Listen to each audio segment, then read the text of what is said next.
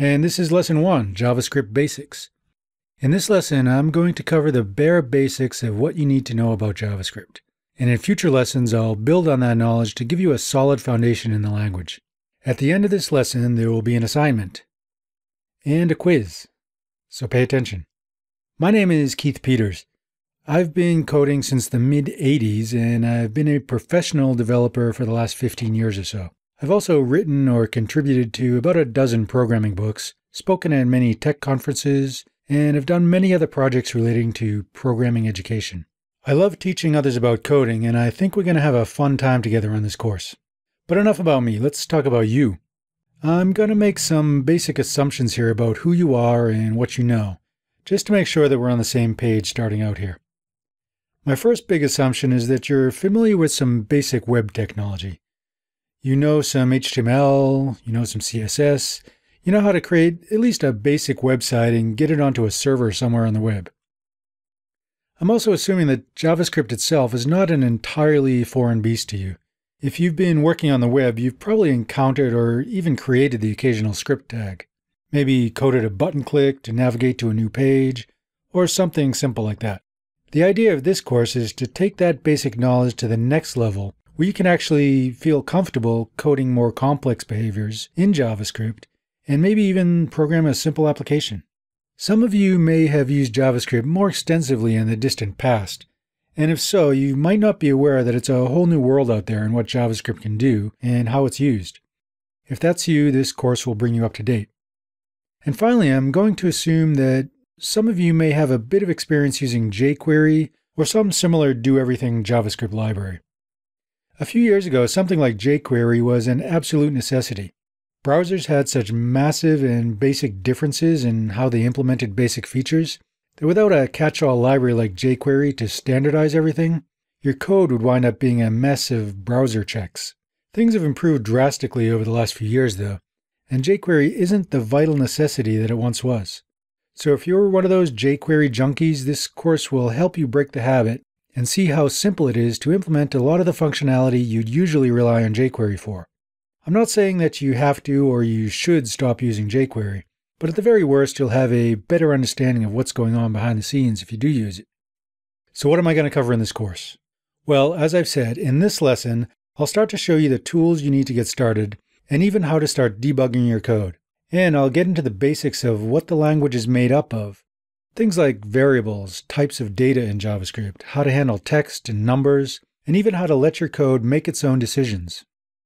In Lesson 2, I'll build on that, introducing more complex data types and control structures, and how to make your code do things by creating your own functions.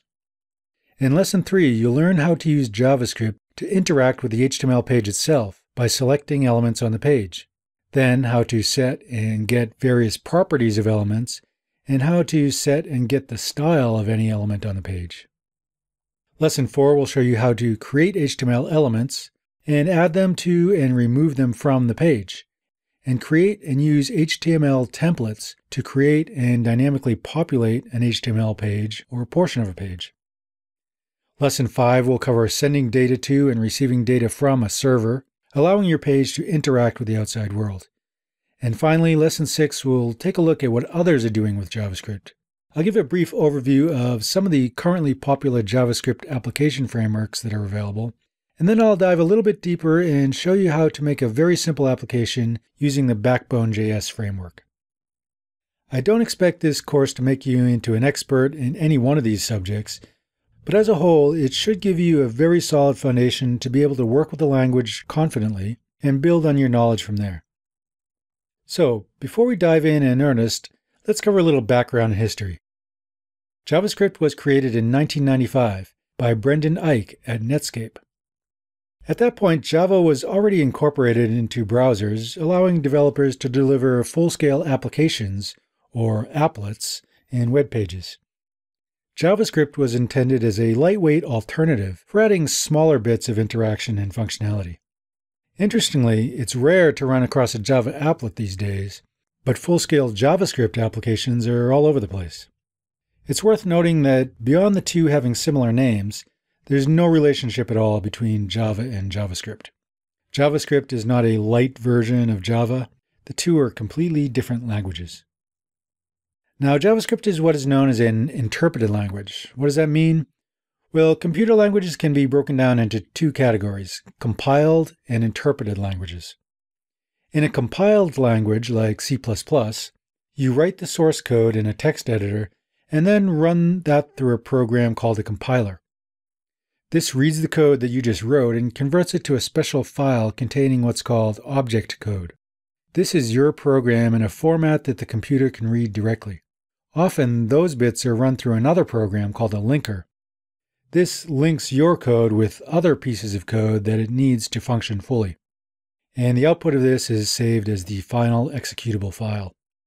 Now, you don't need to be too concerned with all that for now because that's not what JavaScript does. As I've said, JavaScript is not a compiled language, but interpreted. This means that you write your code and you save it in a text file, and you upload that file to a server somewhere, along with your HTML, CSS, and any other associated files. When a web page with JavaScript is loaded into a browser, the browser reads that JavaScript and interprets it into code that it can execute right then and there. In general, compiled programs usually have a lot more speed and power than interpreted programs. This is because during the compiling and linking process, a lot of optimizations can be made to make the program run as fast and efficiently as possible. But in recent years, the JavaScript engines in browsers have come a long way in terms of speed and power. They can even do a certain amount of optimization during the interpretation process.